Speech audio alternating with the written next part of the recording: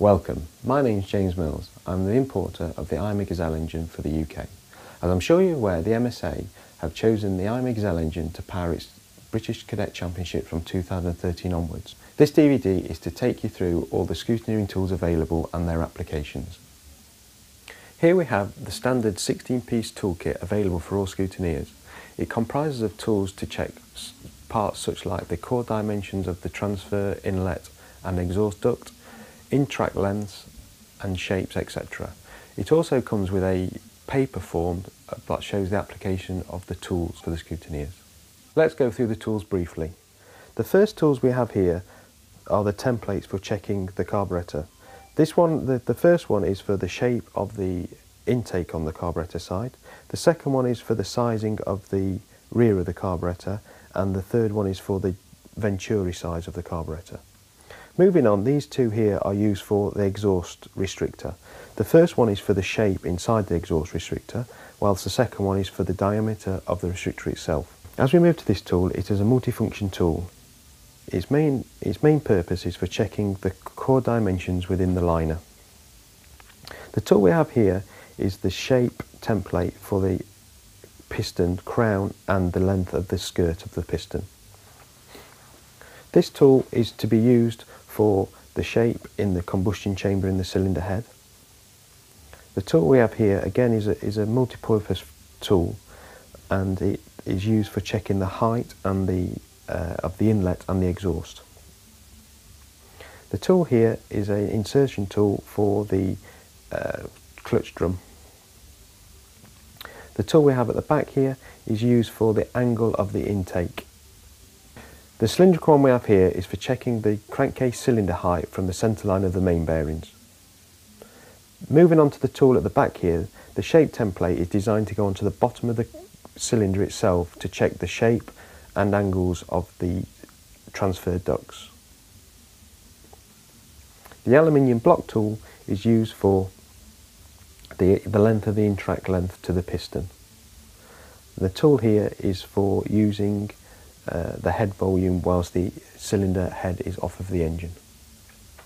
And finally, in the packet here, we have all the uh, pin gauges for checking the drillings in the side of the carburetor. Now we will look at how all these tools are used for checking of the engine. Let's now look at the tools for checking of the exhaust stub restrictor. Firstly, remove the exhaust stub from the engine.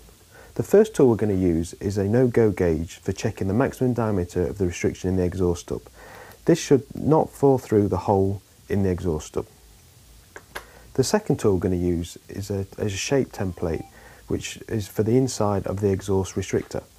This is placed from the gasket side of the exhaust and should match all the way around on every plane. This tool can also be used for checking the height of the restrictor and the tool shouldn't pass beyond this upper plane. Firstly, we need to remove the nut to allow us access to the clutch drum. Once the nut has been taken off, the drum can be removed from the engine. The template we're using here is the maximum diameter the clutch, the clutch drum can be and therefore should not fall inside the drum itself.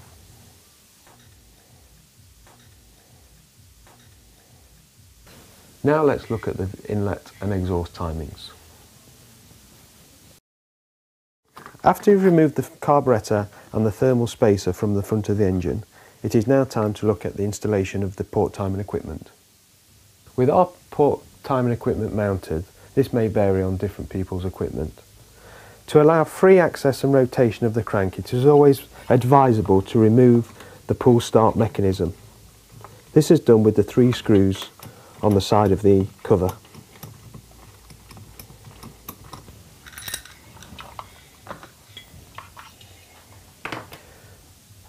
With the cover removed, we are now going to use the CIK feeler gauge for port timing. Firstly, we're going to look at the inlet. What we need to do is place the feeler gauge into the port and hold down to the bottom edge. Then rotate the crank in a clockwise direction. Zero the digital degree wheel and then rotate in an anti-clockwise direction. This then gives you the maximum opening angle of the inlet. We're now going to look at the head volume on the engine. To do this we, we use the CIK insert tool for the spark plug thread. Start by inserting this into the top of the engine. Ensure that the insert is firmly in place. Then we need to check that the engine is on a, a flat plane. Ensure that the engine is not tilted in any direction. We then check to get the engine towards top dead centre. The simple way of doing this is just with a Allen key or screwdriver or something similar and just ensure that the engine is at, at top dead. We then use a digital burette and the fluid inside is, is TQF. Lower in place just to hover above the top of the insert. In the usual fashion, bring the fluid to the top of the CIK insert. The minimum volume for this is 6.1 cc's. Before we move the cylinder head and cylinder, we are now going to just check the intake length on the inlet. Ensure all gaskets are removed from the engine. Then rotate the crank to make sure that the piston is covering the inlet. Take the aluminium block and place on the carburettor studs, ensuring the plunger goes firmly home to the aluminium and does not touch the piston.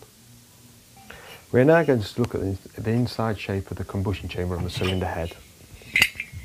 Remove the head from the engine and using the profile tool the shape of the combustion chamber and squish band should match exactly to this tool. You can also check the cylinder head volume using the plate supplied in the kit. The minimum volume for, for the cylinder head is 7.4 cc's using this. The procedure for checking the volume is the same as we've used whilst checking on the engine. Place the cylinder head on the studs on the plate and use the, the four screws to tighten down. Ensuring that the cylinder head is on a flat surface, place the insert tool as before. Use the digital ret in the normal procedure, but to just to emphasise that the volume using this procedure is a minimum of 7.4 cc's. We're now going to look at the port times of the transfers. I've already attached the digital degree wheel onto the engine as before. Firstly, ensure that the cylinder is fastened down to the correct tautness. This is 12 newton meters.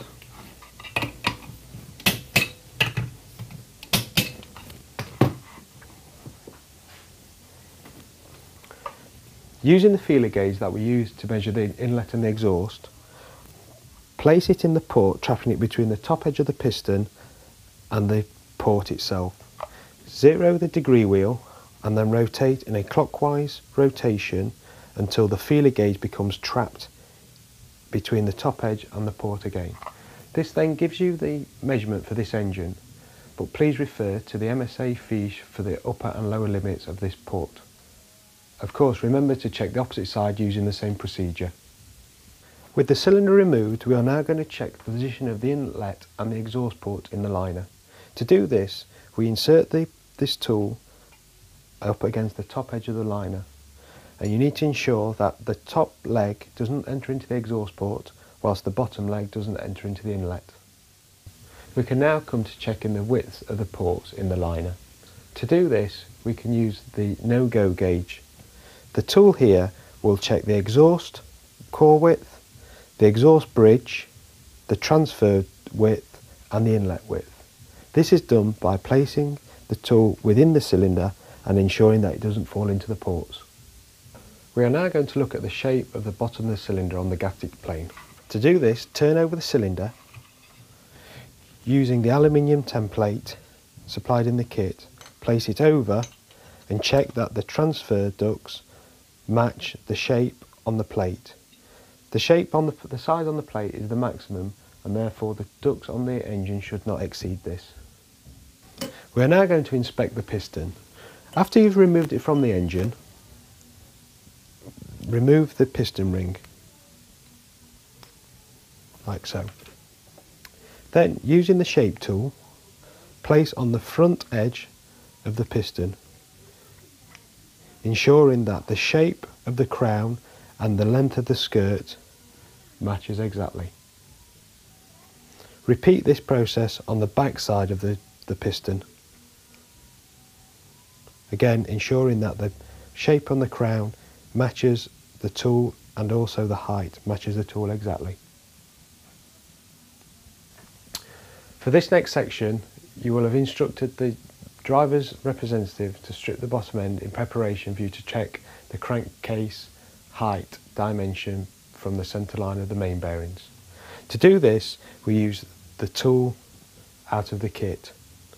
With the crankcases been placed back together, insert the ground bar into the main bearings and all the way through.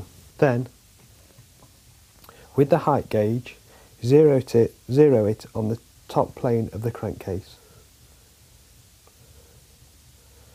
Then, move it all the way down to the top edge of the ground bar.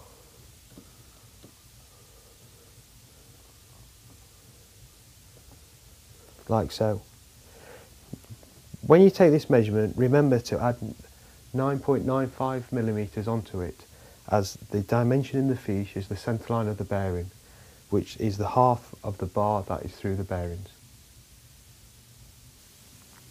We're now going to focus in on the carburettor, checking it using both the no-go gauges, the shape template and the pin gauges. With the carburettor stripped, as shown here, we will first check the Venturi. Using this gauge, which is a no-go gauge, place inside and ensure that it doesn't pass through the Venturi, like so. Then with the second tool, which is a profile tool, check the shape and diameter of the front mouth of the carburettor. Place the tool in the carburettor and ensure that the shape matches. Then rotate the carburettor and with the final tool check that again this is a no gauge no go gauge tool ensure that it does not go into the back of the carburettor like so. When it comes to the pin gauges, there are several holes to be checked. The ones we are going to demonstrate here are the idle and the high-speed jet. Using the correct diameter as stated on the pamphlet for the tools, insert into the carburettor like so. Both the high and the jet are both using the same diameter. On this carburettor, as you will see, there are several holes underneath the Welsh plug. For this demonstration we are not going to remove it, but if further inspection is required, this must be removed and the other tools, the other pin gauges used. I hope this short DVD has been beneficial and if you have any questions or queries please feel free to contact me.